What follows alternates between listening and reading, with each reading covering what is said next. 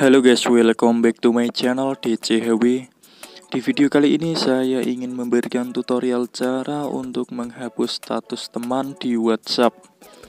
Karena kita tahu sendiri kalau teman mengirim WhatsApp Kita tidak bisa menghapusnya di WhatsApp secara langsung Karena tidak ada menu pilihan untuk menghapus story mereka. Jadi status yang dikirim oleh teman kita pada WhatsApp akan berada di WhatsApp kita selama 24 jam dan kita tidak bisa menghapus secara langsung. Oke, sebelum ke tutorialnya, bagi yang belum subscribe channel ini, subscribe dulu channel ini dan nyalakan lonceng notifikasinya. Dan jangan lupa juga untuk like, share, dan komen supaya channel ini berkembang dan ramai. Caranya cukup gampang dan simpel. Kita cukup masuk ke pengaturan, lalu kita pilih setelan tambahan, dan kita pilih tanggal dan waktu. Kemudian kita nonaktifkan tanggal dan waktu otomatis ini karena agar bisa diatur setel tanggalnya. Setelah tanggal dan waktu otomatis dinonaktifkan, maka kita bisa mensetel tanggal secara semau kita. Lalu kita majukan tanggal di HP kita satu hari ke depan.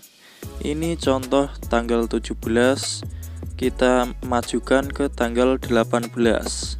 Lalu kita oke. OK. Mengingat status WhatsApp hanya berlaku untuk 24 jam maka kita setel tanggal satu hari ke depan. Dan kita cek di WhatsApp ini masih ada status. Kita perlu merestart WhatsApp kita. Dengan cara paksa berhenti WhatsApp kita buka di pengaturan aplikasi lalu kita klik paksa berhenti. Kita oke. okay. Lalu silahkan buka kembali WhatsApp dan cek statusnya. Maka status akan hilang. Kekurangannya adalah kita juga akan kehilangan status-status WhatsApp dari orang-orang lain. Jadi statusnya tidak bisa kita pilih siapa yang ingin kita hapus, tapi semua status di WhatsApp akan hilang. Oke, cukup sekian dari video saya kali ini. Terima kasih telah menonton video ini sampai akhir. Mohon maaf bila ada salah kata dan kekurangan ataupun pengucapan.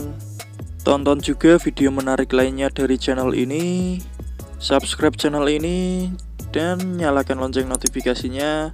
Jangan lupa untuk like, share, dan komen. Mari sama-sama kita saling membantu dalam membangun channel ini. Sekian dan terima kasih.